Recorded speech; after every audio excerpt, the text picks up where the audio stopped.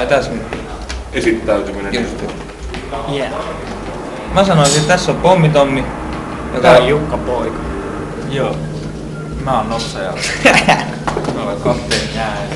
Täällä ollaan Tampereella klubin alahuoneella. Siis täällä näin maan alla. Niin kuin aina. Joo, myöhäinen yö on myöhäinen yö. Hyvä. Eikä Ei me kuulla, että mitä tuntuu ottaa vastaan tämä suunnaton haaste tehdä tämmöistä teillekin ehkä uutta asiaa. Livypissiaata. Tuota. On se ihan mukavaa. Samanlainen sessio se on kuin mikä tahansa muu sessio. Samalla tavalla siinä heittäydytään virran vietäväksi. No mä sanon sen verran, että mä en edes tiedä vielä, tuunko mä olen siinä, että mä en ole ollut missään, missään harjoituksessa kuin muuta. Että katsotaan tänne tästä ihan, miten tää tapahtuu. Ja niin kuin happening pohjalta. Niin, siis jos, jos se toiminta imee mukaansa, niin ei siinä mitään voi, mutta jos se ensin sitten ei. Sitten nopse, niin siinä vie jotain. Kyllä joo. Ei. Kummempaa katsotaan. Kaikenlaista tää on tehty jo. Mikä on muuten kummallisen asian, mitä koskaan olette tehneet musiikin saralla? Varmaan joka päivä tapahtuu taas. Niin. Aina, aina on toistaan kummallisempia juttuja. No, Hyvä Se erikoista. Se on se pyrkimys sillä. Mutta name one, kuka haluaa? Tota, toivon mukaan toi keikka, keikka tällä puolella Niin se tuolla varmaan. klubin puolella, niin toivotaan, että se osuisi yhteen omituisimmista. Yleensä mitä omituisempi, se parempi.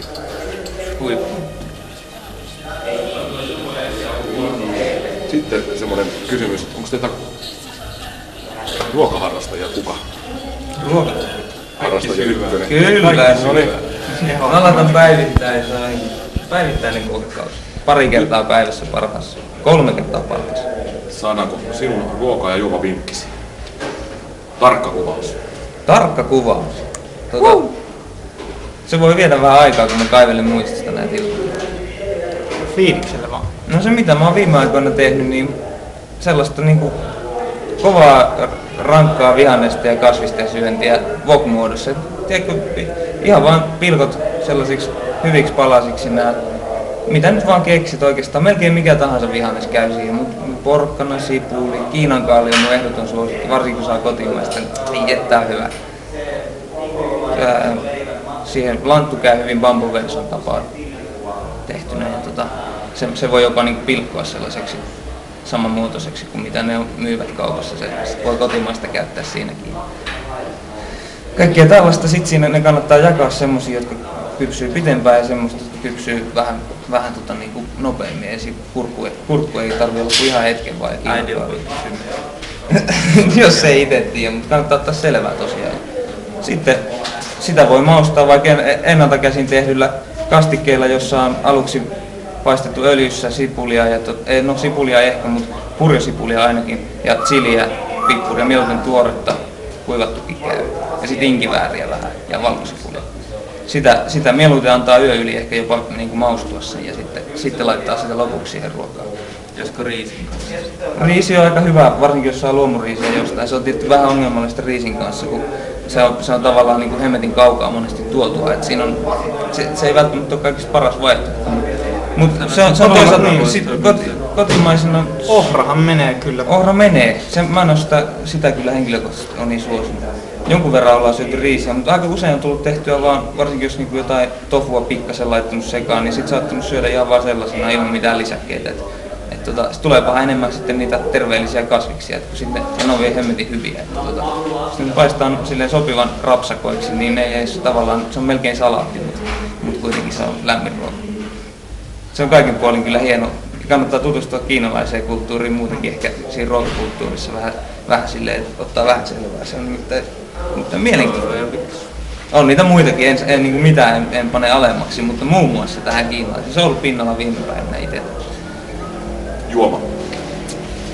No, kyllä se kaivovesi on hyvä, jos se on hyvä kaivo.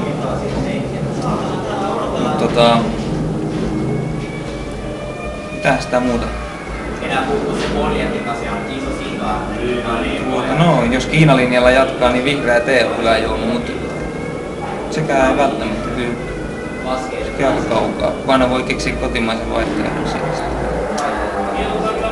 Vai ostaa jotain yrttiteitä juoda, niitä on vaikka mitä hienoja yrttejä olemassa, mistä voi tehdä teetä. Se on aina hyvä, hyvä tapa juoda. Mm. Entäs muuta? Vielä lisää. Tää oli tosi, tosi hyvä vinkki. Mä otan sen isomman miehen aina vastaan. Kyllä, kyllä siis. Ja pysyy terveenä ja jaksaa näinkin myöhään vielä puhua jotain edes. Joo. Siinä vaiheessa kun edelliseen reseptiin kyllästyy, niin kannattaa kokeilla samaa, mutta seesamiöljyn kanssa. Oi oi oi. Se on ihan kuin uusi ruoka. Entäs balsamietikko? Ei ehkä tämän kanssa, että se putoaa ehkä enemmän tuohon Eurooppaan. Niin euro välimereen. Siis ennakkoluuloita voi kokeilla sitäkin. Aivan. Joo, siis ihan oma makuhan se on mikä määrä Mm. loppupeleissä. Mitä kummallisempi idea tulee, niin se enemmän sitä kannattaa kokeilla. Kyllä. Jos annetaan kaksi sanaa teille, musiikki ja juuret. Mitä te niistä innovoitte? Tulee tietenkin tuota porkkanaa, mutta Kasvaa. joo joo. No, Mutta kombinaatio, musiikki ja juuret. no, sanotaanko, että se kombinaatio elää varmaan tässäkin hetkessä, mitä tehdään. Että molemmista ammennetaan ja molempia kasvatetaan. Juu, kyllä se, se on tärkeää myös kasvattaa niitä juuria, että ne ei tavallaan sitten jää siihen pinnalle. Mm. Kuitenkin pitää, pitää mennä aika niin kuin syvälle. Se on kuitenkin kaksisuuntainen prosessi, että toisaalta meillä on meidän oma menneisyys ja myöskin juurien puolella se musiikki, mitä me ollaan, mistä me ollaan ammennettu. Tai voidaan ammentaa ikään kuin meidän omaa olemusta ja sen menneisyyttä, mutta sitten taas toisaalta me ollaan koko ajan luomassa niitä omia juuria ja myöskin omia musiikillisia juuria. Että tämän päivän hörhöily on huomispäivän kulttuuri. Näin se on ollut ja näin se on. Pannaan tuohon vielä viimeinen kysymys. Entä se, että estetiikka ja postmodernismi? Kaikenlaista sitä voi jauhaa, jos jaksaa, mutta en tiedä, onko se tarve. Puhutaan suomea. En ymmärrä. No postmodernia. Nyt on kuitenkin eletään jo jälkipostmodernia aikaa. Että mun mielestä näistä, post- näistä post- asioista puhuminen on kuitenkin niin... pari kertaa jo. Ei. Siinä vaiheessa, post, post, post, post, post, post, post, post, post, postmodernista puhutaan, niin Mennään sanoa, että stop nyt. stop modern. stop moderni. Se on aika ja se virtaus. Ja ei mitään estetiikkaa. Saatana kun kesä tulee heittää tikkaa. Kyllä vaan. Pannaan tuohon vielä bonuskysymys. Aikaisemmat opinnot. Elämän kova koulu. Elämän kova koulu ja eniten ehkä opin, kun lopetin yliopistoa. Ja el- elämän pehmeä koulu on muuten kanssa. Nuoret, älkää menkö kouluun. Käyttäkää oikein. Ei, kyllä, kyllä se peruskoulu kannattaa käydä. Joo. Ottakaa selvää tavalla tai Kyllä, se on, niinku, se on sellainen, että se mistä se tieto tulee, niin se taas, se, sekin, sen voi valita jollain tavalla. Että se voi myös, jos on motivaatiota, niin se voi myös hakea itse, mutta Tietenkin se motivaatiota, niin sitä ei löydä ikinä. No ei sitä kyllä välttämättä mistään laitoksesta. En mä ainakaan sitä oppinut löytämään. Et tota, makuunsa mukaan kukin, kyllä se näin täytyy mennä.